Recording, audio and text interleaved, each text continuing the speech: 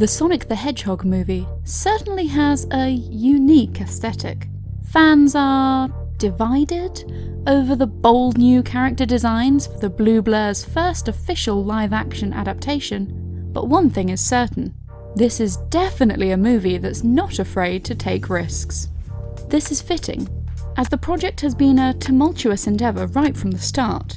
If you've ever wondered who on earth started the ball rolling on the Sonic the Hedgehog movie, the answer is, surprisingly enough, Sony.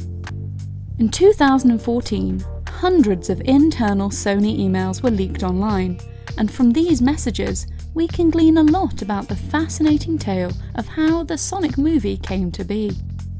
The story starts with Amy Pascal and Avi Arad, two Sony executives with a long history of movie making that mostly centres not on video games, but comic book movies. Amy and Avi were both producers on Spider Man Into the Spider Verse, which is amazing, and Venom, which is also a film.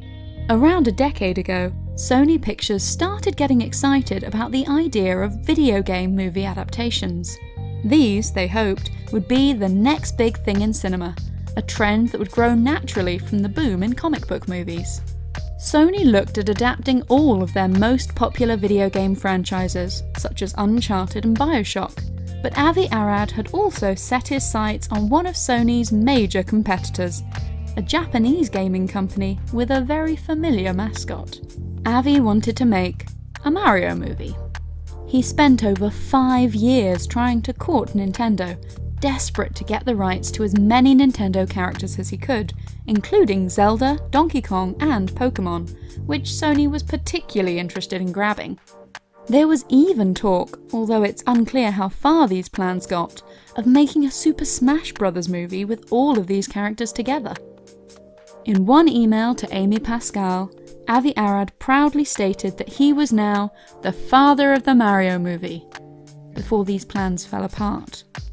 Avi's negotiations with Nintendo managed to secure an appearance from Donkey Kong in the Adam Sandler movie Pixels, but otherwise, he ultimately walked away empty handed. It's likely, though, that his pushing inspired Nintendo to think hard about making movies based on their popular characters. Eventually, the company would hand the rights to a Mario movie to Illumination, the studio behind the Minions movies.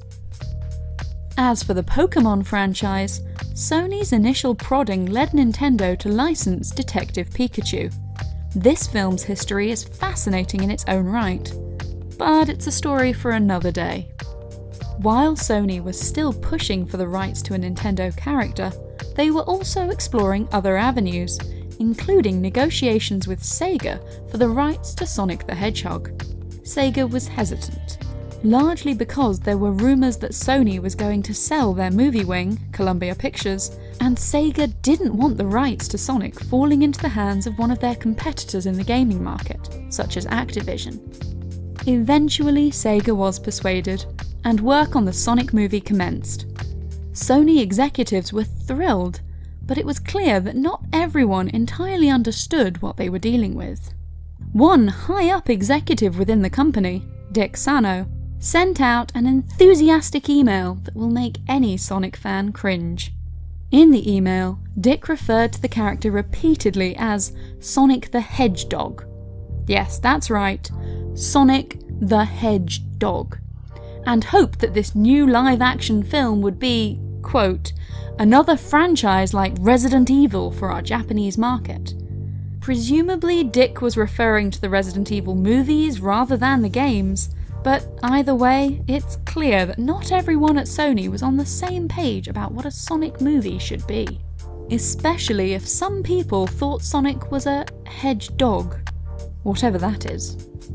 But, to give credit to Amy Pascal and her fellow executives at Sony, they made some phenomenal decisions regarding the creative team behind the Sonic film. At around the same time as Chris Miller and Phil Lord signed on for Into the Spider Verse, Sony managed to convince Deadpool director Tim Miller and his team to make Sonic. This was a major coup for the studio. Tim Miller was enjoying a lot of praise for his work on Deadpool, but after a very public falling out with Ryan Reynolds, his career was taking a new direction. Tim himself would end up focusing his directorial efforts on a new Terminator movie, alongside James Cameron, while the direction of Sonic fell to his talented collaborator Jeff Fowler.